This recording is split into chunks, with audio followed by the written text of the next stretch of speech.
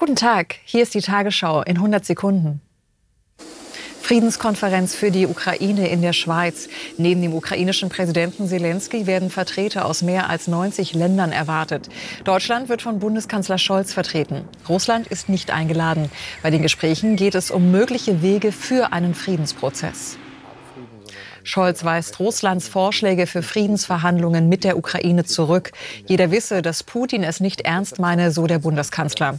Putin wolle nur seinen imperialistischen Raubzug in Dokumente fassen, sagte Scholz. Der russische Präsident hatte gestern Bedingungen für Friedensgespräche gestellt. Unter anderem verlangt er von der Ukraine, die von Russland annektierten Gebiete aufzugeben. Pilgerfahrt Hadsch in Mekka wird fortgesetzt. Etwa 1,5 Millionen gläubige Muslime besteigen den Berg Arafat, wo der Prophet Mohammed seine letzte Predigt gehalten haben soll. Überschattet wird der Hadsch in diesem Jahr vom Krieg zwischen Israel und der islamistischen Hamas im Gazastreifen. Traditionelle Geburtstagsparade zu Ehren des britischen Königs. Der krebserkrankte Monarch Charles III. nimmt heute nicht zu Pferd, sondern in einer Kutsche an der prunkvollen Zeremonie teil.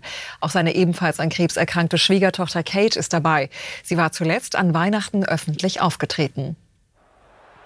Deutschland eröffnet Fußball-Heim-EM mit Sieg gegen Schottland. Das Team von Bundestrainer Nagelsmann gewann die Auftaktpartie in München mit 5 zu 1. Die Tore schossen Wirz, Musiala, Havertz, Füllkrug und Jan. Rüdiger erzielte ein Eigentor. Die nächsten Gegner sind Ungarn und die Schweiz. Das Wetter morgen in der Nordwesthälfte reichlich Wolken, dazu gebietsweise Regen oder zum Teil gewittrige Schauer. Sonst mal Sonne, mal Wolken und nur stellenweise Schauer. 15 bis 24 Grad.